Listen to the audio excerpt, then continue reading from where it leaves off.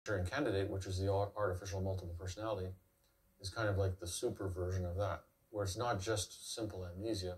There's an actual new person in behind the barrier who carries out the assignment, remembers it, follows all the orders.